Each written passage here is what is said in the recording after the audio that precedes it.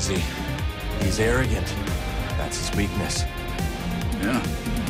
We get him angry, he comes for one of us, the other takes him out. That's right. Risky, but it's our best shot.